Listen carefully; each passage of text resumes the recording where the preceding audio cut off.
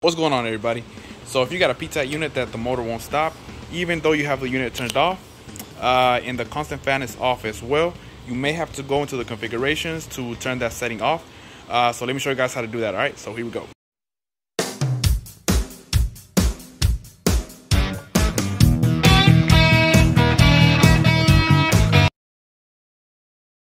Alright you guys, so let's go ahead and go into the settings uh, by pressing and holding the plus and the minus.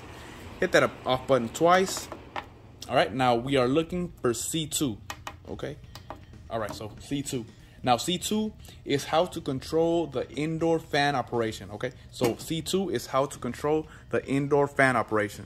Now on C2, we're only gonna worry about two option codes. Okay, we're going we're gonna worry about option code A, and we're gonna worry about option code BA. Okay, now A is to uh, is gonna allow that fan to run all the time. That constant fan is gonna be running all the time, even though the PTAC unit is turned off. Now, if you want the option to turn off or turn on the uh, constant fan with the constant fan button, uh, we're gonna go ahead and choose option code BA. Okay, now BA is gonna give us control of that constant fan.